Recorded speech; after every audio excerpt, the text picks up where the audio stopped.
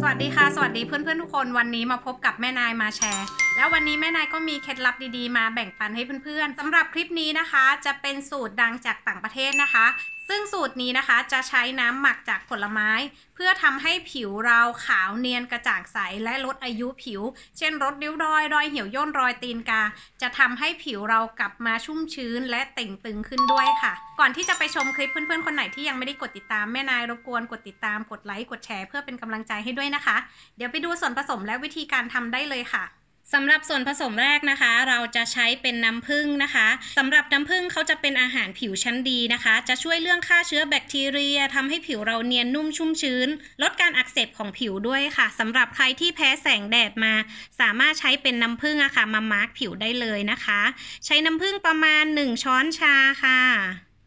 สำหรับส่วนผสมต่อไปเราจะเติมเป็น baby oil ลงไปนะคะสำหรับ baby oil หรือน้ำมันมะพร้าวสกัดเย็น หรือว่าเป็นวิตามินอ e ีก็ได้นะคะ เพราะว่าตัวน้ำมันมะพร้าวสกัดเย็นเบบี้ออยล์หรือวิตามินอ e ีอะค่ะ เขาจะทำให้ผิวเราเนียนนุ่มชุ่มชื้นขึ้น ลดริ้วรอย รอยเหี่ยวย่นรอยตีนกาได้ดียิ่งขึ้นค่ะ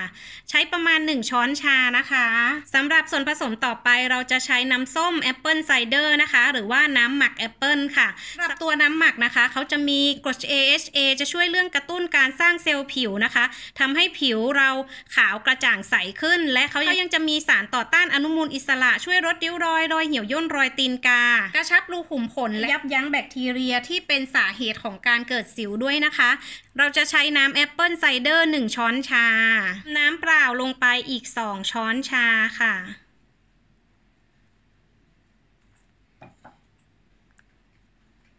ำหรับสูตรนี้แนะนำให้ทำเฉพาะตอนเย็นนะคะ เขามีส่วนผสมของน้ำหมักของแอปเปิลนะคะสำหรับใครที่ผิวบางแพ้ง่าย สามารถทดสอบการแพ้โดยการที่ทาไว้ใต้ท้องแขนก่อนนะคะ ทิ้งไว้ประมาณสัก 10 นาที ถ้ารู้สึกว่าไม่แสบหรือไม่คันก็สามารถใช้ได้ค่ะ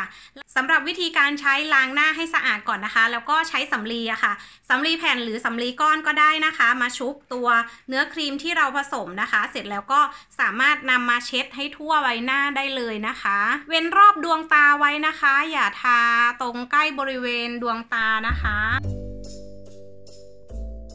สำหรับใครที่มีฝ้ากระหนาๆนะคะ สามารถใช้สำลีแผ่นนะคะ ชุบตัวเนื้อครีมที่เราผสมไว้เรียบร้อยแล้วนะคะ แล้วก็มาแปะทิ้งไว้ได้เลยนะคะมาร์กทิ้งไว้อย่างนี้ก่อนนะคะ ประมาณสัก 10 นาที หลังจากนั้นเดี๋ยวเรามาทำตามขั้นตอนต่อไปกันค่ะ หลังจากครบเวลาเรียบร้อยแล้วนะคะ ล้างหน้าให้สะอาดนะคะ และจะสังเกตได้ว่าผิวอะคะ่ะ จะมีความแบบขาวกระจ่างใสและเนียนนุ่มขึ้นมาก ๆ เลยนะคะ นี่ค่ะ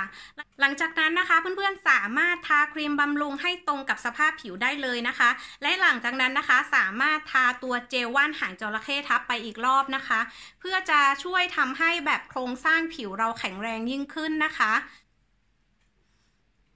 และสำหรับสูตรนี้สามารถทำได้อาทิตย์ละ 1-2 ครั้งนะคะ และทุกๆวันนะคะ เพื่อนๆอย่าลืมทาครีมกันแดด เพื่อปกป้องผิวเราจากแสงแดดและรังสี UV ด้วยนะคะ และสำหรับคลิปนี้แม่นายหวังว่าคลิปนี้จะมีประโยชน์ต่อเพื่อนๆ ถ้าใครชอบคลิปนี้ก็อย่าลืมกดติดตามกดไลค์กดแชร์ เพื่อเป็นกำลังใจให้แม่นายได้ทำคลิปต่อไปด้วยนะคะสำหรับวันนี้ขอตัวลาไปก่อนค่ะ สวัสดีค่ะ